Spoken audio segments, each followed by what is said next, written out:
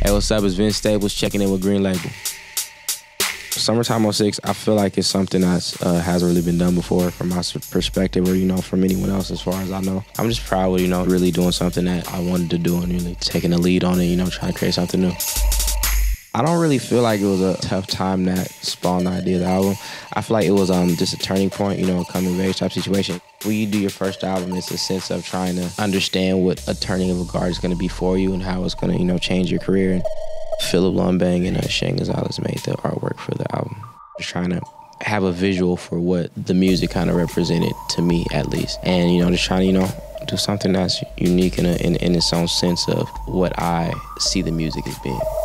Finding out about the double XL survey was cool. I'm just appreciative for everything that we get, no matter when it comes, no matter how it comes. It just shows that your hard work is paying off, no matter when anyone else recognizes it, they actually recognize it. And that's really what matters at the end of the day. But, you know, it's cool, man. I'm just glad to be a part of it.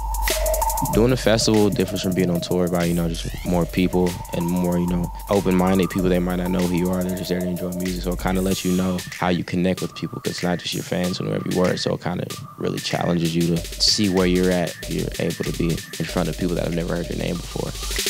There are literally probably no artists I want to collaborate with. I believe in doing things that make sense for the record and not just because what does it mean when you want to work with someone if you don't have an idea for it? It means you just want their name on the song so people pay you more attention. I'm very specific about my music because my music belongs to me. And before I give it to someone else for it to belong to them, I want to make sure I get an accurate portrayal of what I was trying to give off.